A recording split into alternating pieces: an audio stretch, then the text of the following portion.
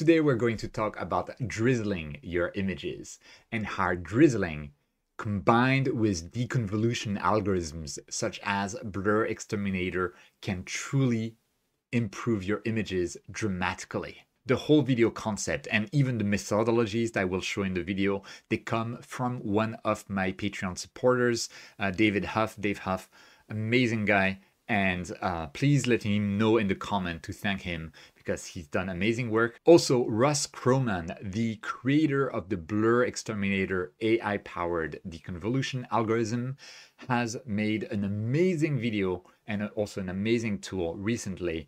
Uh, I'll put the link down in the description as well. It's amazing.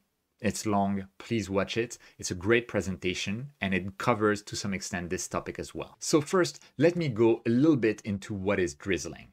Drizzling, if you haven't used it uh, before, is a way that you can increase the resolution of your images to hopefully get a bit more details. There's a lot of conditions before you can apply some drizzling, and I'll go into those in a moment. Before that, I want to give you a concrete example of uh, a, the same stack of images, the same capture. One was stacked by PixInsight without drizzling, and the other was stacked with a two-time drizzle algorithm. And two times drizzling basically means that you're increasing the resolution by two, so you get four times more pixels in your final image. So on my screen right now, the image on the left is the non-drizzled image, the image that you get at the end of your stacking process if you don't do drizzling. The image on the right has the two times drizzling. And the image on the right maybe looks slightly less blurry. There's a bit more details, like I think you can see those three dots next to this uh, curve here better than here. It's less blurry. The stars are also much less blocky, right? This You can see the, the individual pixels here, but not so much here. The stars look much smoother. So uh, there are definitely some advantages. There's also, also a bit more contrast here. So there's definitely some more some advantages to drizzling. At the same time, you can see that the noise outside of the galaxy here, it looks more visible. It looks sharper than the noise on the non-drizzled image, which looks more blurred out. And this really means that you've, by drizzling, you've decreased your signal to noise ratio, but there are ways to recover that. Still, the difference between the non-drizzled image and the drizzled image are not that dramatic in my opinion, especially once you start zooming out. And so that's why historically I haven't bothered with drizzling uh, because I saw it didn't really make a big difference for me. Although in this particular image, which was taken, by the way, with my Hyperstar C6 with a focal length of 300 millimeters and a pixel size on my camera sensor of 3.76 microns, this matters because it means my image was undersampled by a lot. So drizzling does make a little bit of a difference. But where your drizzle data will truly shine is when you apply a deconvolution algorithm such as the BlurXTerminator process by Russ Croman. Blur Exterminator is a process that is dedicated to PixInsight. I've, I've featured it on the channel in the past. It is a paid process. I think it's around a $100. It's not cheap, but it is worth every penny, in my opinion. Uh, because it truly helps your images. So this is BlurXTerminator with the default settings and I'm going to try applying it to the two images. This will perform an AI-powered deconvolution, but overall, it's still a standard mathematical deconvolution operation. It's not trying to invent new details, such as uh, something like a topaz denoise can sometimes do by imagining details that doesn't that don't exist really but it will try to increase the contrast of details that actually already exist in the image that are not quite visible to us because there's been a contrast loss so this is the result with BlurXTerminator, this deconvolution algorithm uh, done on both images. The image on the left is the non-drizzled image. The image on the right has drizzling. And we can see the difference between the two are amazing. First, let's look at the difference before and after on the non-drizzled image. The difference is already quite amazing. We get so much more details within the galaxy. I find this, this is already amazing. But let's look at the right-hand side image, and I think the difference is even more striking. So eh, this is before, this is after. There's so much more details, and the details are also very smooth, especially compared to the image on the right. You can see the core of the galaxy, this little arc here, it's almost invisible in the other image. You can see the arc and dot features on this galaxy arm here. They're much more detailed than on, the image on the left. Even the details in the child galaxy here, those dark uh, bands, they have more details on the drizzled image than they do on the non-drizzled image. And we got this for free. This is the same set of data. And I'll go into it is possible and what are the conditions to accomplish this again in a moment. Now, the one thing where the drizzled image doesn't work well is the noise in the background. Just like before, the noise in the background is very crisp, very visible compared to the noise on the image on the left, the non-drizzled image. How can we fix that? Simple, we can resample the image on the right, basically lower the resolution of the image on the right. This will average out multiple pixels together, and this increases the signal to noise ratio. It's just, it's basically like binning in CMOS cameras. To do that in PixInsight, you can use the resample process here and just put like 50% as the target and apply it.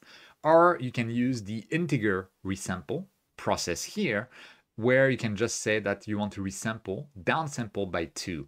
Uh, now, I'm not sure exactly of how differently the the two processes, one with with 50% and one downsample by a factor of two will be different, if there is any difference.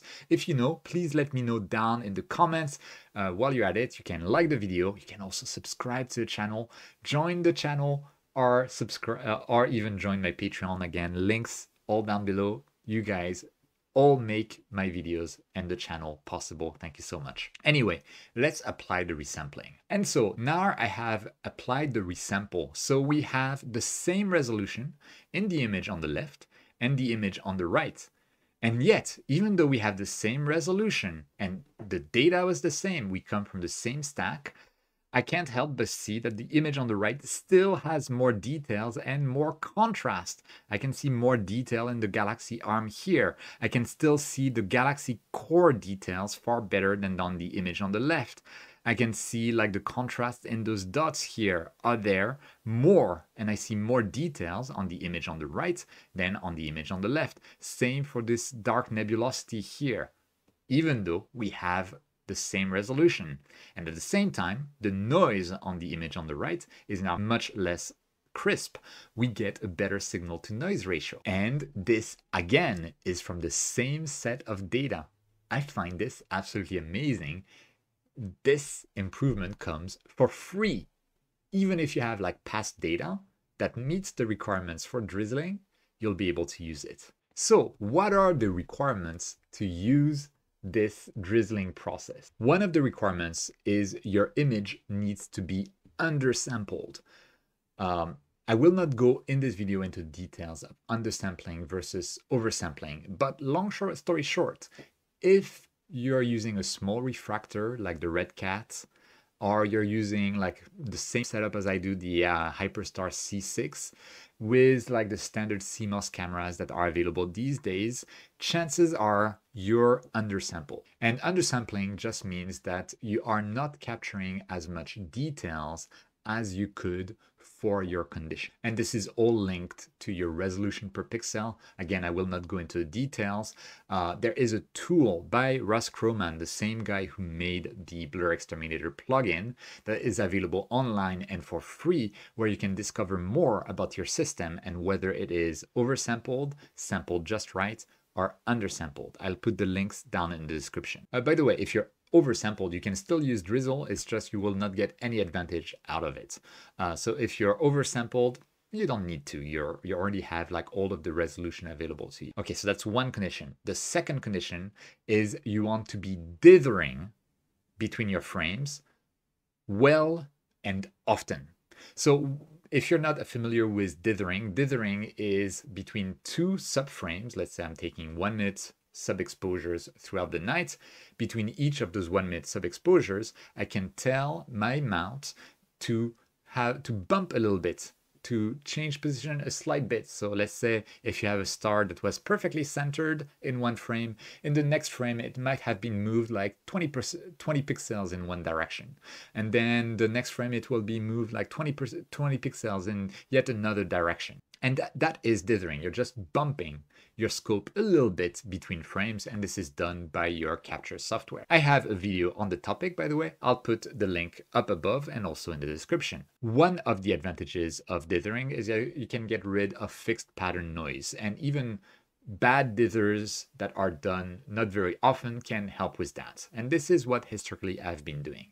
But if you want to drizzle, you want to do more. You want to dither by fractional pixel values you want to drizzle by enough pixels, and you want to drizzle often. So what exactly does that mean? Well, I'm showing you now my NINA screen. This is actually on my Newtonian telescope rather than on the Hyperstar telescope whose image I featured earlier. And uh, you can see that I'm under the guider tab of the equipment tab. So I have connected PHD2, which is my guiding program. And you can see that I, I, can set my dither pixels here. This is the amount of pixels that I will move stars by when I dither. So that little bump to the mount. This is on the guide scope, your guide scope with guide camera will move by 7 pixels. But you can see the impact that it has on your main camera here, your camera dither pixels, and it tells me 23.26 pixels. This is actually pretty good because I'm dithering by 20 pixels, which is a good distance. This is decent for my uh, sensor. And at the same time, I'm dithering by a fractional amount. I'm not dithering by just like 20 pixels. For instance, if I set my dither pixels to 6 here, I'm now at 19.94, which is too close to a full pixel in my uh, view. So I'm choosing 7 pixels. And according to David, uh, 20 pixels in his experience has been working pretty well. So for me, 23.26 will work quite well as well. So that's how you can set your dithering. You also want to make sure that you dither often because I've been imaging and doing dithering to avoid just a fixed pattern noise, I was dithering every 10 minutes. And even though I was taking like one minute or even 30 second long exposures, and that's not enough. Uh, Russ apparently dithers every frame. Uh, if you have very short frames, that's going to be uh, too much. But I'll try probably in the future to dither every two or three minutes, even when I'm taking like 30 seconds frames. And hopefully this will help me get better results with my drizzling algorithm. The uh, sample, the example that I gave earlier in the video, I was dithering by only around 10 pixels with a bit of a fraction and I was dithering every 10 frames, which is really not enough. But even then, I got such better results. But ideally, you want to do more because you can run into other issues if you're using one-shot color cameras, which is what I'm using. So dither well and often.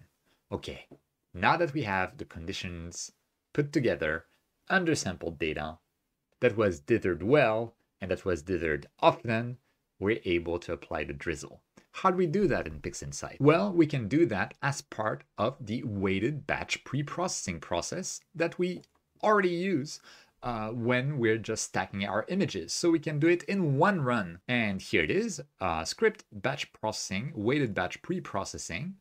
And uh, if you have like a monochrome camera, and if you have or you have an OSC camera, you can run the drizzling, although things in the background mathematically are a bit more complex for your color camera because of the Bayer matrix that's on top of your pixels.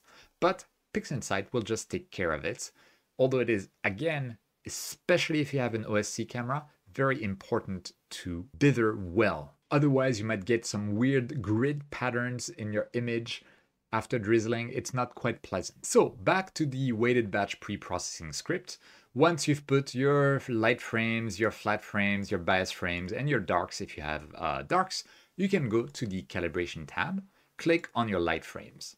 Now here, you can just set your debayer method to the default, which is VNG. Or if you have a monochrome sensor, you want to just uncheck CFA images. Okay, now what we want to do is go into the post calibration tab. And to do a drizzle by a factor of two, you want to go to the drizzle configuration here and click on enable. You can set your scale to two and a good compromise drop shrink value here is 0.9. The more you've dithered and the better the dithers were, theoretically you can lower that value to get more contrast.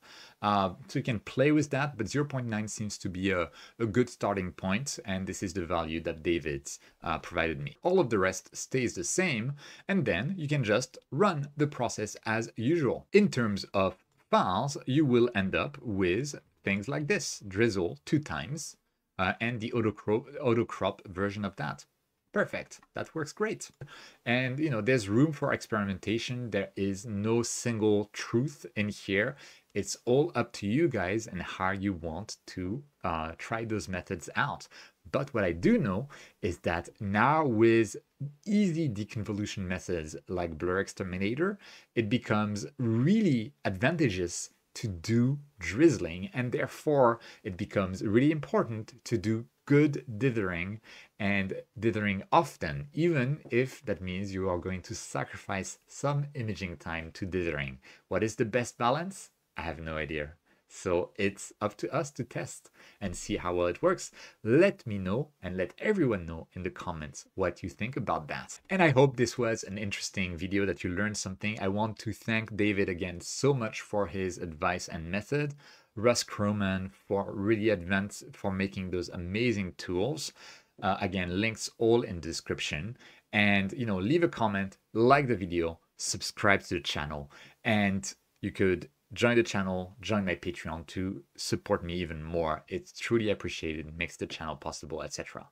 But more than that, don't forget whenever you can to look up at the stars and drizzle the stars. And I'll see you next time.